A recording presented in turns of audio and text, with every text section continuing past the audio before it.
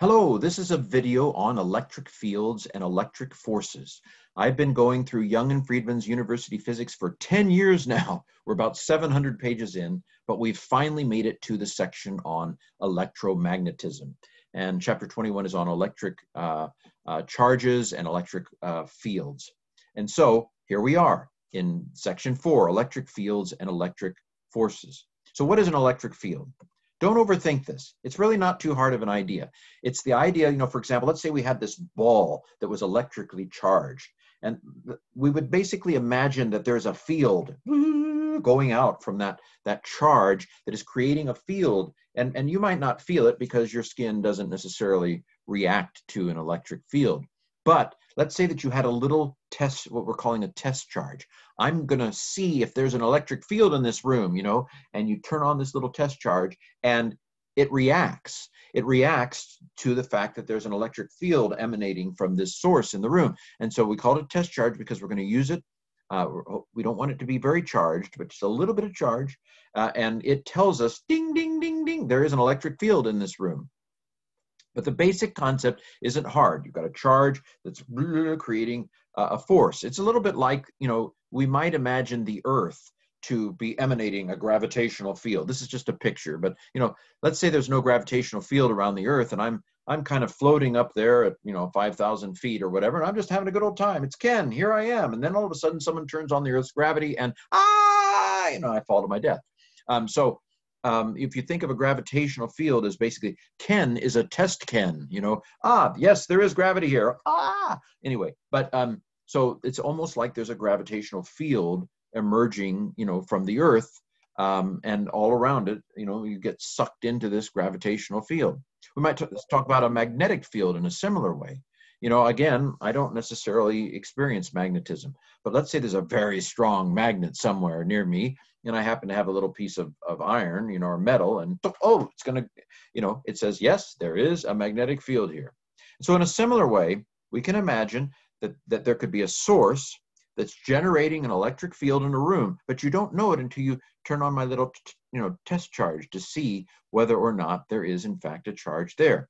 We call this sort of thing, these sort of fields, action at a distance, uh, because something I'm doing here is affecting something over there.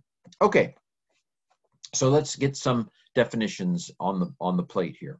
So the electric force on a charged body, might say my test charge, is, is basically the force exerted by an electric field created by other Charles charged bodies. The, the electric field on an individual body doesn't affect itself in the same way that I can't say, well, look at me, I'm going to pull myself up in the air. Well, you can't pull yourself up in the air.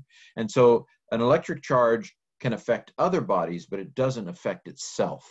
Um, and so the electric force on a charged body is exerted by an electric field created by other charged bodies. Okay.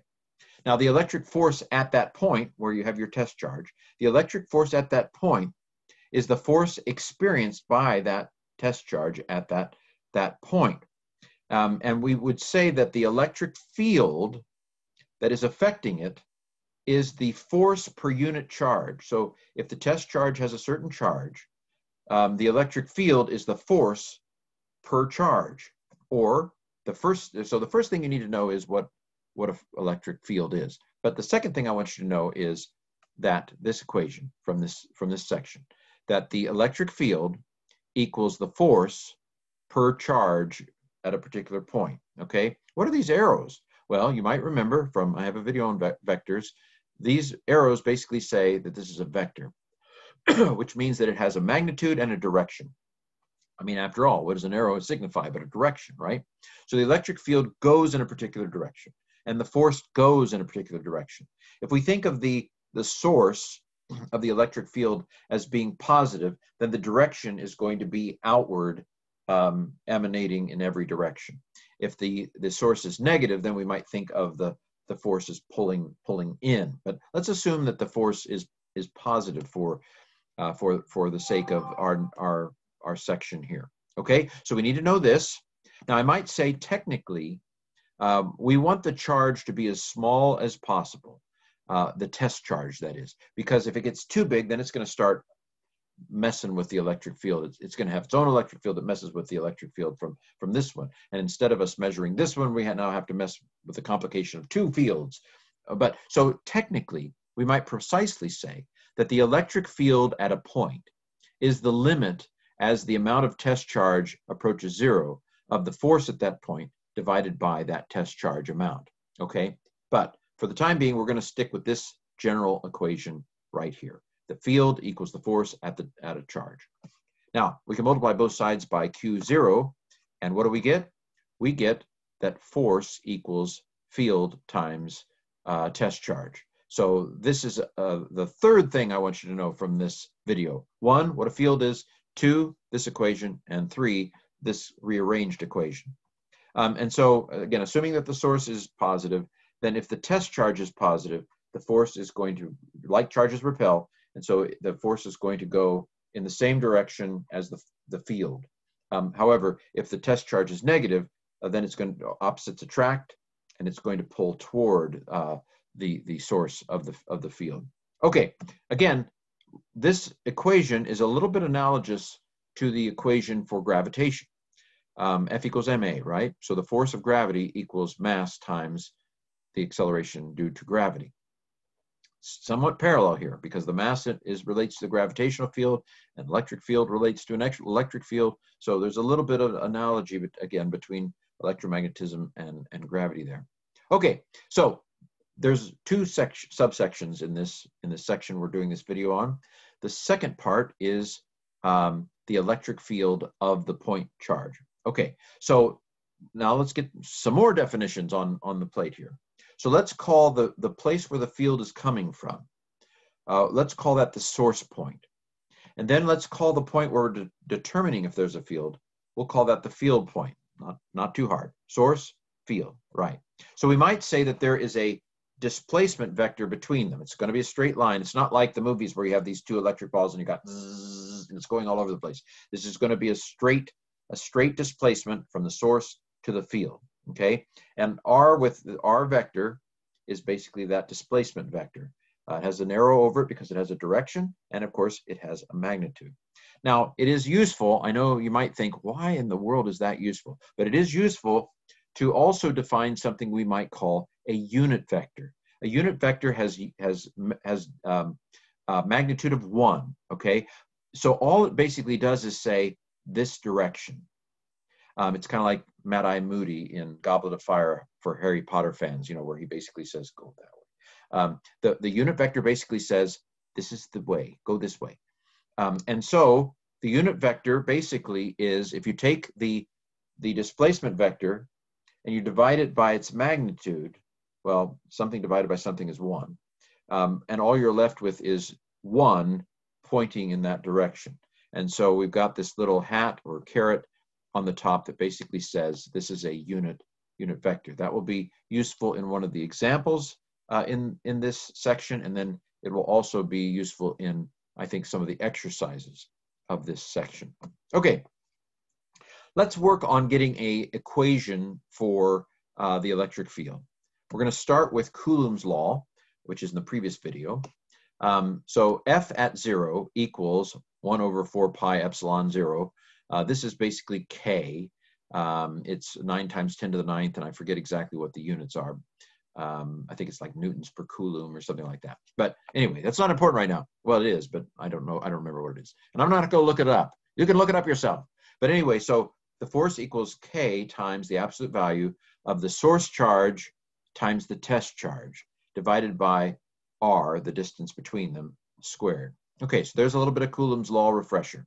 Now what happens if I divide both sides by Q0? Well, F over Q0 is E, right? So, and then the Q0 factors out. And so I'm left with this kind of equation for the field. But I don't want just the, uh, this is just a magnitude equation. I want the vector equation. And so I introduce that unit vector we just talked about. And, and if I basically say, if I take this magnitude and I point it in that direction, then it becomes the vector of the, um, of the electric field. Okay, again, um, it points away from the source uh, if it's positive in the same direction as the force, as the field is going. But if if it's negative, then it's going. If the if the uh, the charge is negative, it's going to be going this direction. Um, okay, but this is uh, these are this line is basically what I said earlier. Okay, um, if the if the source charge is positive, it's going to be pointing out. If the source charge is negative, it's going to be pointing uh, pointing in. All right, vector fields. So there's going to be a lot of vector fields in the rest of this book. And uh, an electric field, the thing is, a an electric field can vary from point to point. In fact, its magnitude changes uh, depending on how far away uh, your test charge is from, from the source. So that can get a little complicated. Um, there are things that we call uniform fields. Uh, for example, in a wi copper wire, uh, which is a conductor, then you're going to have the same values for the field everywhere, and you get current running, you know, sometimes through it. Um, there is something called electrostatics. Static has a sense of not moving, right? And so in electrostatics, there's no net motion, and, and therefore the electric field is zero everywhere in the conductor. By the way, sometimes you have um, a hollowed out part in the middle of the conductor, and the field may not be zero in there. But in terms of in the conductor himself, and a conductor itself, uh, if it's electrostatic, then there is zero, a zero electric field uh, inside of it. Okay, well, uh, we're now done with the important part. So if you're tired of me, turn this video off. But there was the, the final illustration, the final example I thought was kind of interesting because it ended up with an equation uh, for the, for the uh, trajectory of an electron uh, uh, between two charged plates. And you may be thinking, who cares? But I mean, this is how they used to make TVs work, right? Because you would shoot electrons and you would use the, the charges on the plate to guide the electron, you know, basically shooting an electron, electron gun at this um, uh, screen that um, because it was organized, you know, you would see Johnny Carson, you know, or whatever on on that that CRT screen. Um, I think, uh, if my memory serves. So anyway, just for fun, this is example 21.8. Now the electron of electron, the acceleration of electron is going to be F over M. Why? Because F equals ma, right? So A equals F divided by uh, M. This is old stuff. Now, the electromagnetic magnetic force is going to be negative E times the electric field amount. Negative E is the, the charge on an electron. And electrons, we say, have a, a negative charge. Why does this work? Uh, because we have said that F equals uh, Q times E, right? We said that. Uh, and so uh, this is Q, the charge is the negative amount of electron charge uh, times the electric field. Okay, now some things from uh, good old mechanics.